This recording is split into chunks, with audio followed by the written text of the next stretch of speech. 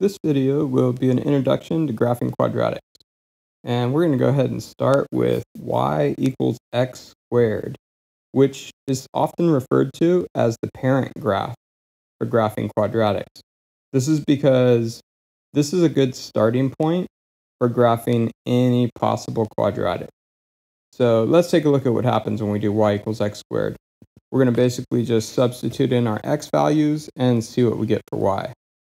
So if we start with negative 3 squared, negative 3 times negative 3 is 9. Negative 2 squared, negative 2 times negative 2 is 4. And I'm going to stop showing the work. I'm just going to go straight to the answer.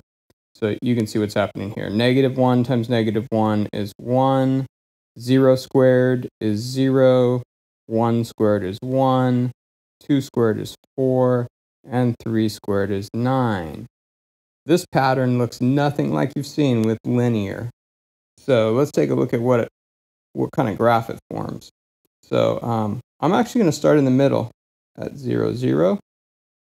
And then I've got 1, 1, negative 1, 1, 2, 4.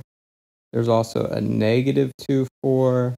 There's a 3, 9 and a negative 3, 9. And then, by the way, this is called a parabola. And we can make a nice curved line connecting these points. It would technically go on forever. So that is our parent graph. Uh, let's take a look at where does the x squared part show up in this graph when you see these points. So uh, here's what you don't want to think about. You don't want to look at these points and say, oh, from this point zero zero, I'm going up one over one, up three over one, up two, four, five over one. You know, that is a pattern, up one, up three, up five, but that doesn't show you, that doesn't, oh, too, back, too much back. There we go.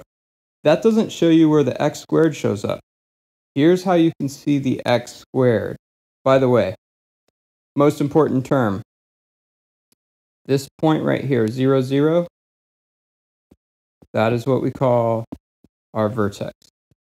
Okay, so notice from the vertex, how do I get to the first point on the right? I go over 1, up 1, over 1, up 1 how do I get to the second point um, on the right or left?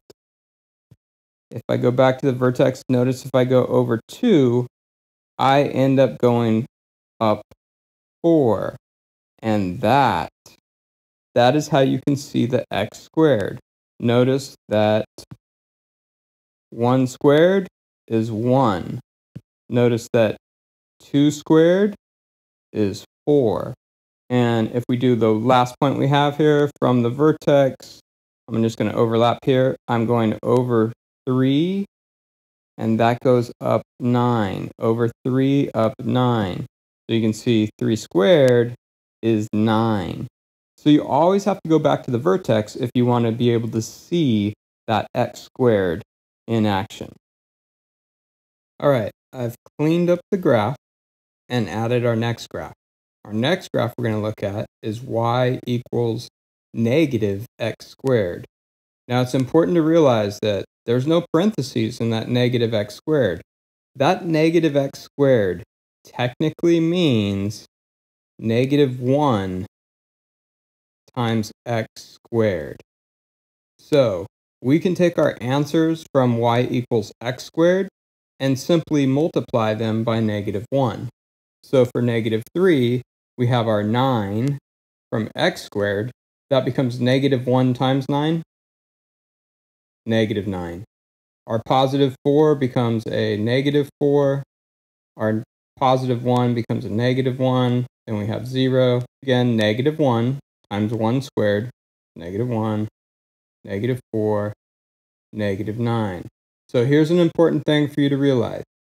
x squared is always positive negative x squared is always negative.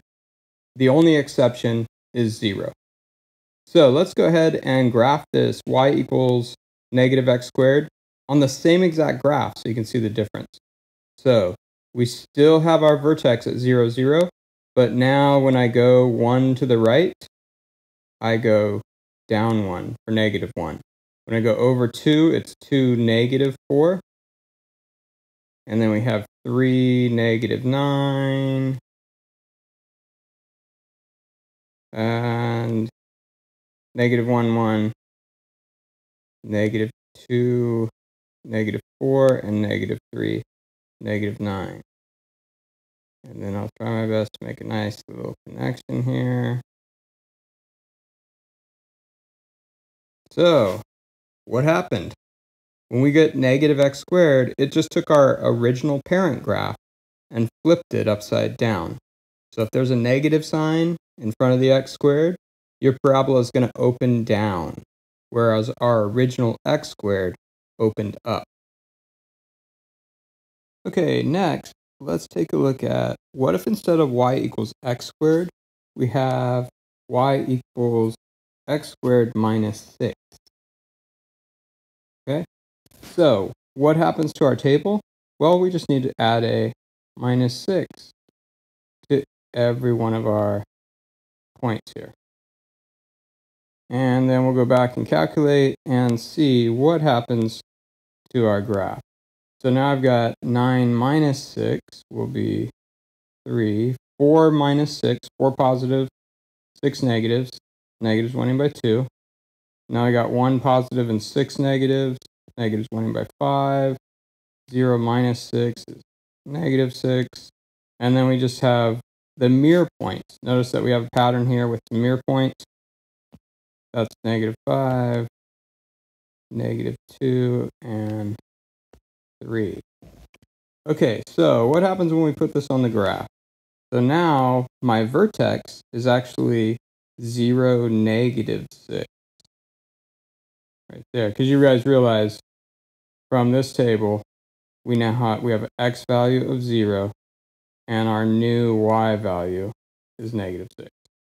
Okay, then we if we go over 1, 1 is now negative 5.